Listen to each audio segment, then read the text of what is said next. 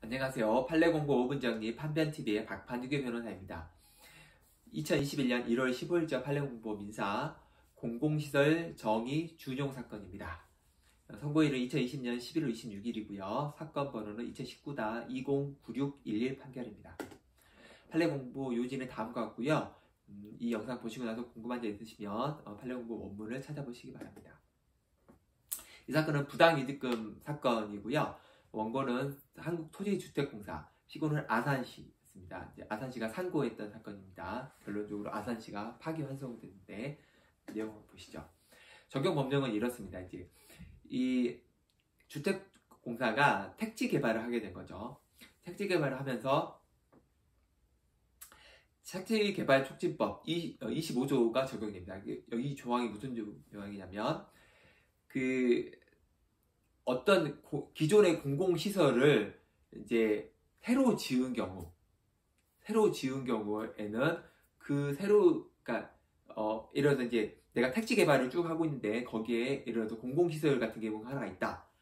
그 뭐, 만약에 공원이 만약에 거기 있었다. 그러면 이 공원을 택지를 개발하니까 없애야 되잖아요. 없애면 이, 이 공원을 어, 다른 곳에서 지어줍니다.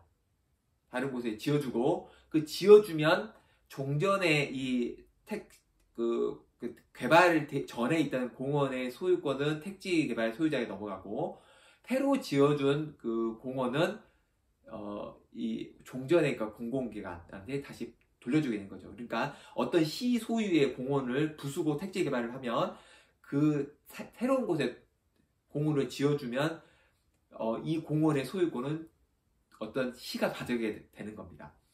그런데 이제 여기서 보면 이 공공시설의 정의가 택지개발촉진법에는 정, 어, 그러니까 정의가 아예 없습니다.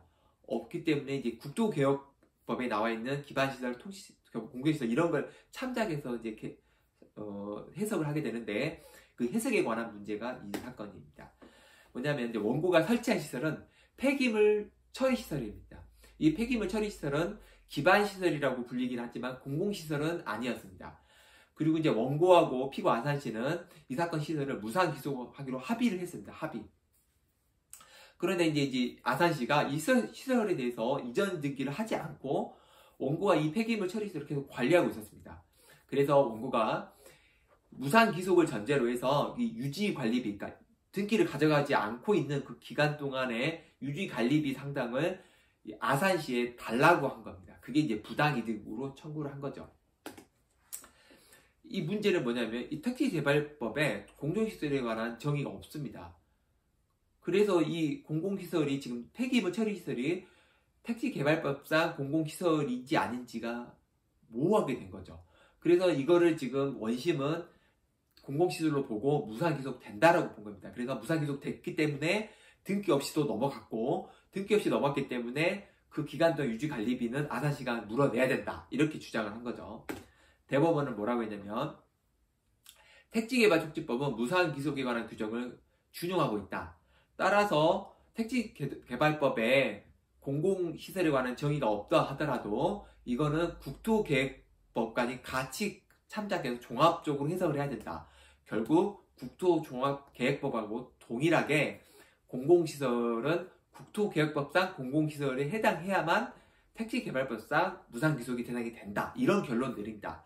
그런데 이제 이 택지 개발법상의 그 이 폐기물 처리 시설은 국토 계획법상 어, 공공시설이 아니기 때문에 무상기속 안 된다는 겁니다.